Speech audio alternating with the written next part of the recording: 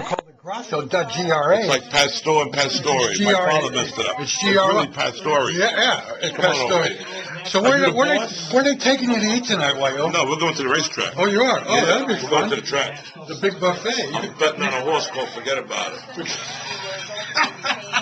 Kevin, whose camera's that? Mine. Okay, but what about, Harry, uh, can I get one of these? So what I'm gonna do is I'm gonna email these to the guys that give me their business. are you filming that, Terry? Yes, Hey, sir. You better not put that on YouTube. Bet not. Because I might not get a chance later to get. Yeah, come on. So what can I tell my family from back home? They're all Tell them that there ain't gonna be no more Sopranos, No more and that Sopranos. Moving down here to Louisville.